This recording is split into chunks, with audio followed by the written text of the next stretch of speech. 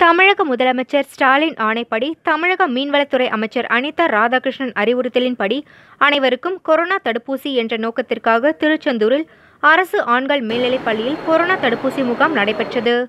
முகாமில் பதினெட்டு வயது இளைஞர்கள் மற்றும் பெரியவர்கள் ஆர்வத்துடனும் கோவிஷீல்டு தடுப்பூசி செலுத்திக் கொண்டனர். மேலும் இந்நிகழ்ச்சியில் தூத்துக்குடி தெற்கு மாவட்ட இளைஞரணி துணை செயலாளர் மணல்மேடு சுதாகர் மற்றும் பேரூர் கழக நகர இளைஞரணி செயலாளர் முத்துகிருஷ்ணன் நகர இளைஞரணி துணை செயலாளர் மதன் கல்யாண சுந்தர விநாயகம் பொன் முருகேசன் நம்பிராஜன் அருணகிரி மற்றும் கழக நிர்வாகிகள் பலர் கலந்து கொண்டனர்.